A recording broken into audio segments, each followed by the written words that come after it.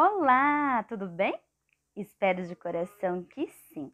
Para quem não me conhece, meu nome é Karine. Hoje eu vim trazer um bolo para vocês de 80 fatias. No tamanho, a forma dele é 40 por 30 e o bolo ficou com 10 de altura, tá bom? É, o bolo ele vai ser no tema Moana Baby. Gente, ficou muito lindo o bolo, tá? Eu fiquei completamente apaixonada. Espero de coração que vocês também gostem, tá? Aqui eu coloquei uma quantidade razoável em cima, tá? Que vai ser a quantidade que vai ficar de chantilly mesmo. E nas laterais eu vou deixar uma quantidade bem pouquinha, porque o restante vai ser todo no bico, tá bom? Então, bora pra decoração, né, minha gente? Eu gosto de usar a espátula pequena, gente, mas quando é bolo grandão assim, não tem jeito, né? Tem que usar a espátula grande mesmo, porque pega no bolo todo. Lembrando, para quem não é inscrito nesse canal maravilhoso, se inscreva, minha gente. Ativa o sininho de notificação. Sempre posto vídeos aqui para vocês toda semana. Espero de coração que Deus abençoe cada um de vocês que acompanha meu canal sempre. E para quem gostar, deixa seu like, viu, minha gente? Que ajuda muito o desenvolvimento do canal. Esse bolo, a cliente, ela me mandou um modelo de inspiração, tá? É, eu segui o modelinho que ela me mandou, o jeito que ela me pediu, tá? É, o modelo que ela me mandou de inspiração, ela deu uma modificada nas cores. Eu achei que ficou muito top, porque as cores são todas as cores bem vivas, né? E Moana, ela representa as cores fortes, né? Por mais que seja Moana Baby, ficou muito lindo, gente. Vocês vão ver no resultado final, tá bom? Aqui eu tô fazendo, passando a espátula levemente, tá?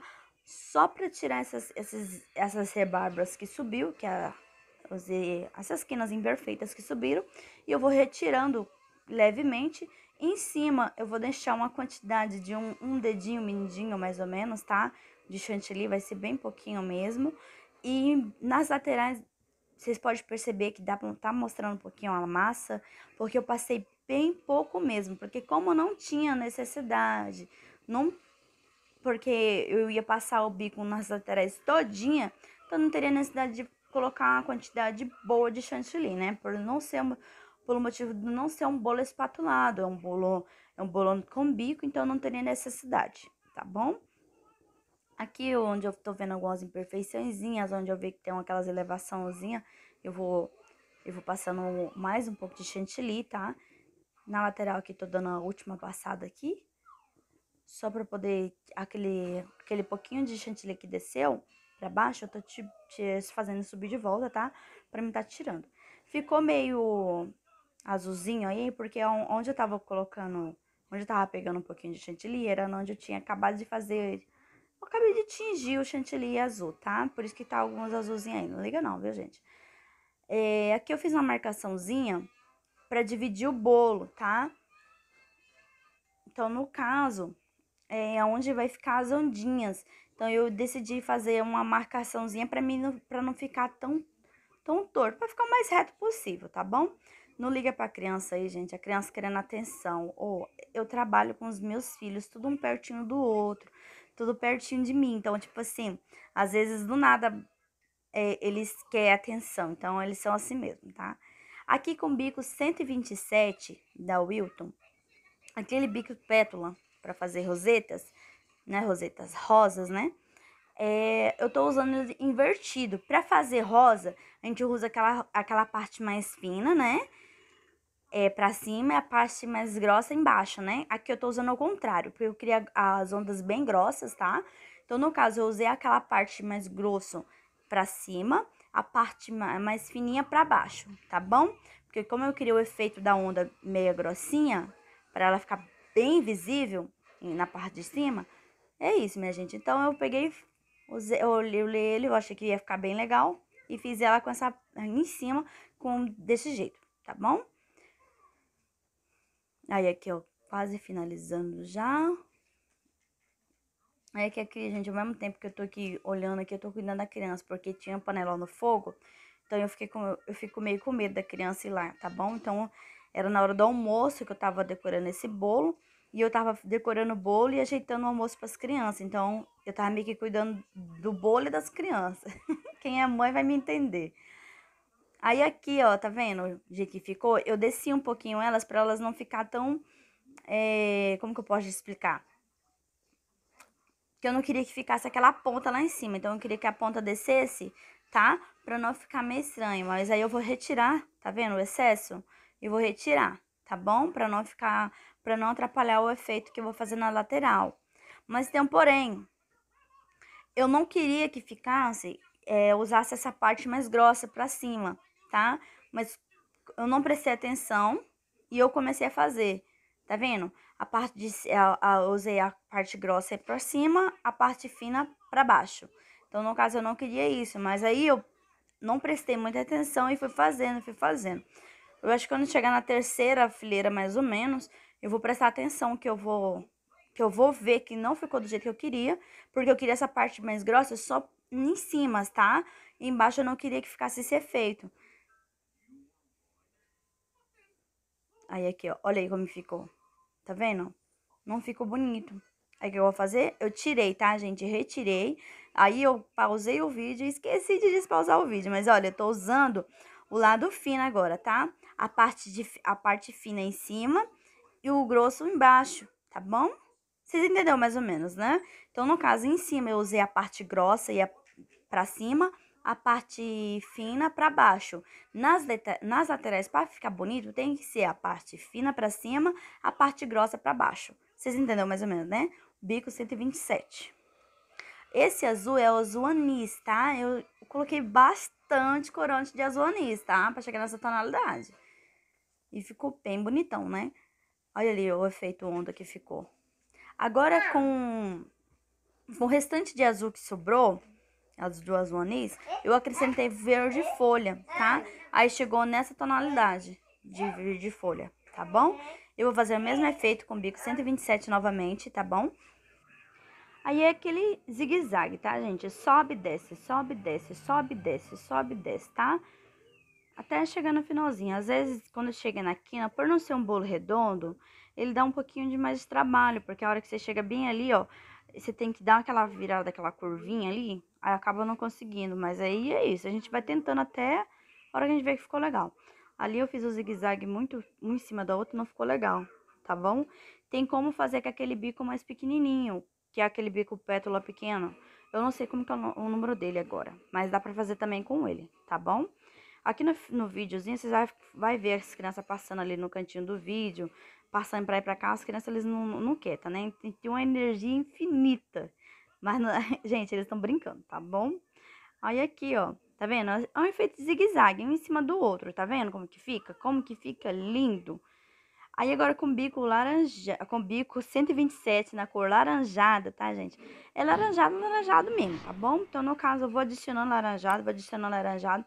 Se caso você querer uma cor mais escura, gente, vai adicionando laranjado, tá? E um pouquinho, poucas gotas de vermelho. Vai adicionando aos poucos, até você ver que ficou uma cor bem viva. Porque quanto mais laranjado e mais um pouquinho de vermelho, mais laranjado ele vai ficar, tá bom? O mesmo efeito, zigue-zague, tá? Sobe, desce, sobe, desce, sobe, desce, sobe, desce, sobe, desce. E vai dando um efeito lindo no bolo, né, minha gente? Olha que lindeza que fica. Eu fiquei completamente apaixonada. Eu achei que por ser é, Mona Baby não ia combinar com essas cores tão fortes, né? Que seria o azul forte, verde forte e mais laranjado forte, né? Mas eu achei que ficou lindo, mega combinou. Gente, ficou linda a, fe a festa da cliente. Eu fiquei completamente apaixonada. Embaixo, gente, eu faço uma linha reta, tá? É, vocês perceberam que ficou com a imperfeiçãozinha aqui na, na, aqui na quina? Eu não me, não me importei muito porque eu vou jogar essa, esses bolachinhas aqui na, na lateral também, tá bom? Essas, esse efeito areia, que como que eu faço ela? É bem simples. É, eu pego bolacha, aquela bolacha de maisena, coloco no liquidificador e boto pra bater, minha gente, até a hora que eu vejo que ela virou esse pozinho.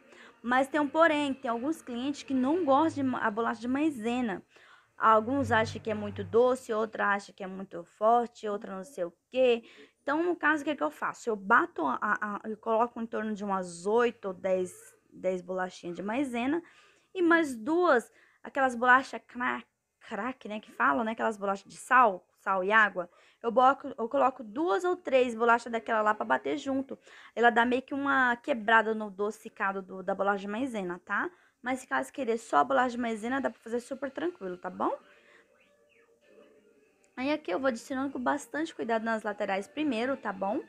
Porque como eu não queria que descesse, corresse o risco de cair, espelengar tudinho aí na, na, no efeito com bico, eu fui colocando bem aos pouquinhos, tá? Bem devagarzinho mesmo, a gente vai paciência, paciência. É um bolo grandão, né?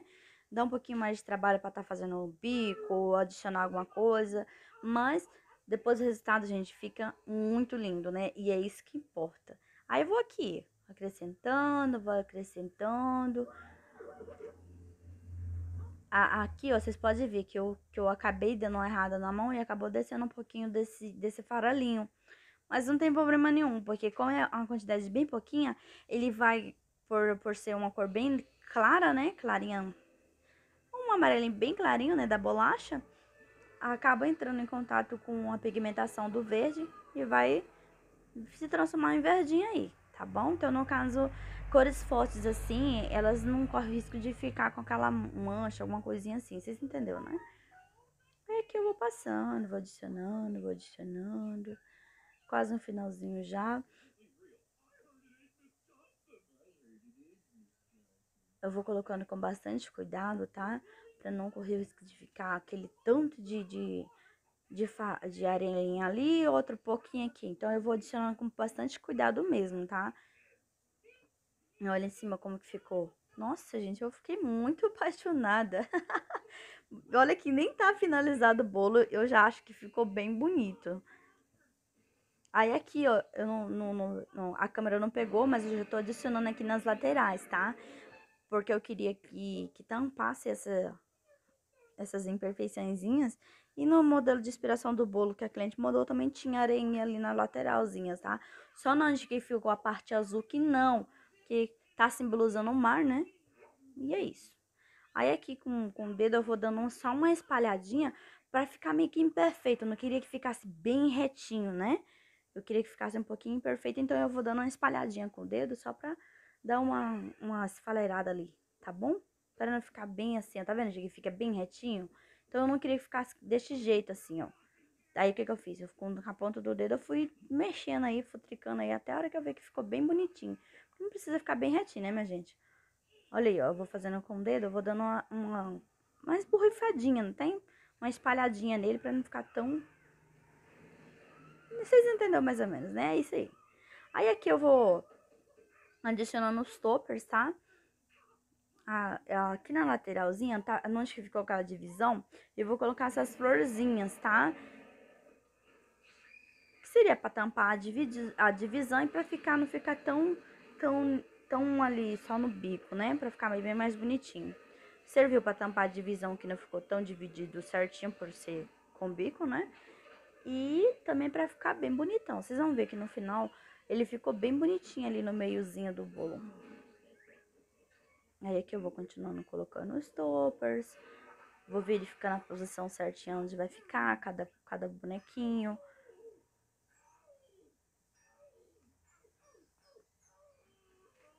Aí aqui eu vou olhando. Aí eu vou colocar essas, essas florzinhas aqui na, em cima do bolo.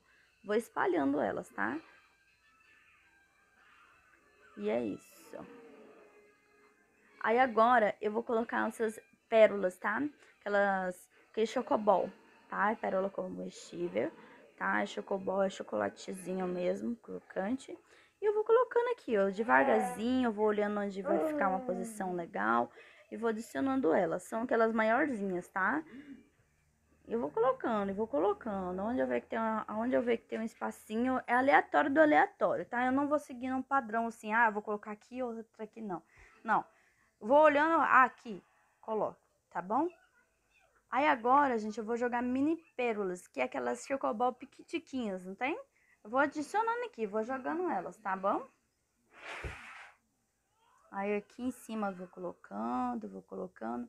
E agora eu vou começar a jogar nas laterais, tá? Vocês vão ver que elas vão dar um efeito bem mais bonitão. Elas dão meio que um, um charme no bolo maior, né? Olha aí, ó. Eu vou jogando, tá? Literalmente jogando. Eu pego uma quantidade razoável na ponta do dedo e vou jogando, tá? Olha aí que bonitão que fica. Tá vendo, ó? Sem as mini pérolas com as mini pérolas. Tá vendo como que fica bonito? Elas dão um efeito bem mais bonitão, né? Olha aí, ó. Aí eu vou jogando, vou jogando. Eu queria ter colocado algumas aquelas estrelinhas, mas infelizmente eu não consegui encontrar. Mas olha que lindo que ficou, gente. Espero de coração que vocês tenham gostado.